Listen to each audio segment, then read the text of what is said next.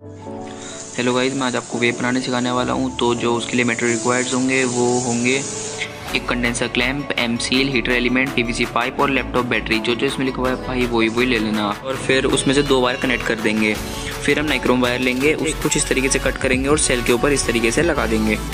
फिर हम एक और पीवीसी पाइप का पीस लेंगे और उसे कुछ इस तरीके से हम दूसरे वाले के अंदर लगा देंगे। फिर कुछ देर के लिए इसे हम ऐसे ही छोड़ देंगे।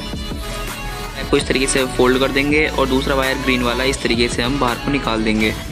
तो गाइज़ जो हमने कॉयल बनाई थी, उसे हम कुछ इस तरीके से इस पर लगा देंगे। फिर हम अपना सेल इसके अंदर डालेंगे, जो हमारी लैपटॉप बैटरी है, और दूसरा वायर हम इस पर जैसे ही टच करेंगे, हमारी कॉयल हीट हो जाएगी। जैसा बनाने के लिए हम पीवीसी पाइप को लेंगे उसे हम किसी भी चीज़ पे हीट कर सकते हैं, और हीट करने के बाद हम इसके ऊपर इस बनाने के लिए हम एक ऊपर कोई भी चीज़ ले सकते हैं, जैसे कि में लगा देंगे, और जितनी हमारी नीड होगी, हम उस हिसाब से अच्छी तरीके से लग जाए।